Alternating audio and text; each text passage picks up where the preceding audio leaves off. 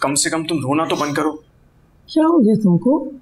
वो पहले अपनी बहन की वजह से परेशान है और वजह इसके कि तुम उससे प्यार से बात करो तुम इतनी सख्ती से बोल रहे हो। हमें इसके बो को घर आने से पहले हमें बताना चाहिए था।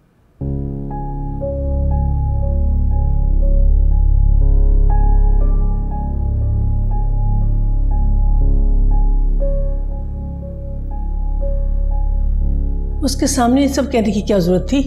मैंने क्या गलत बात किया पता है मुझे?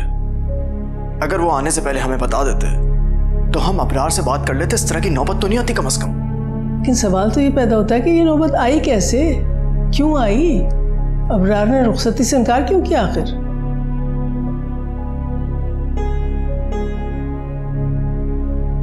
जरा उसको फ़ोन तो लगाओ अबरार को पता तो करें क्या हुआ।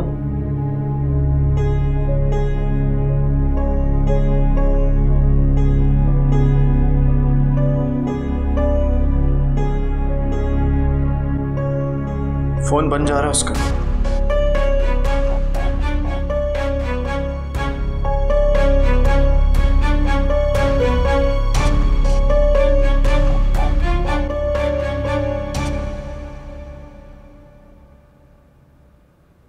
फ़ोन भी ऑफ़ आ रहा है।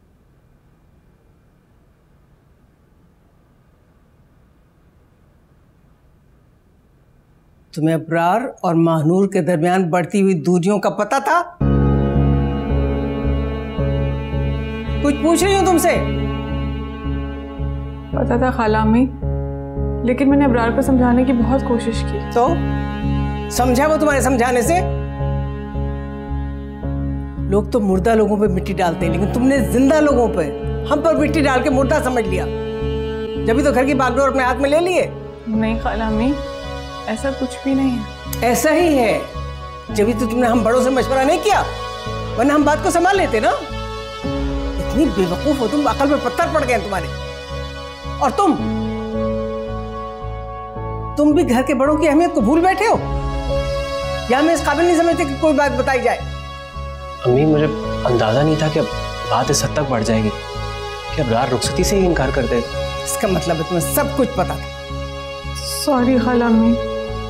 सॉरी क्या? सॉरी का मैं क्या करूँ? जो तमाशा बनना था वो तो बन गया ना।